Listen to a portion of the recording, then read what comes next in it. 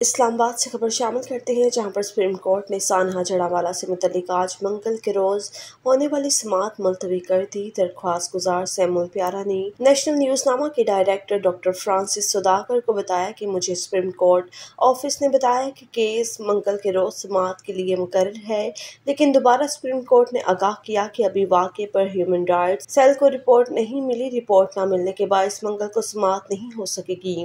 ख्याल रहे कि सुप्रीम कोर्ट ने सानहा जड़ावाला से मुतलिक मुतफरक दरख्वास्त आज मंगल के रोज समात के लिए मुकर की थी चीफ जस्टिस पाकिस्तान की सरबराही में। तीन रखनी बेंच ने केस की समात करना थी। बेंच में जस्टिस अतरमन और जस्टिस शाहिद वहीद भी शामिल थे।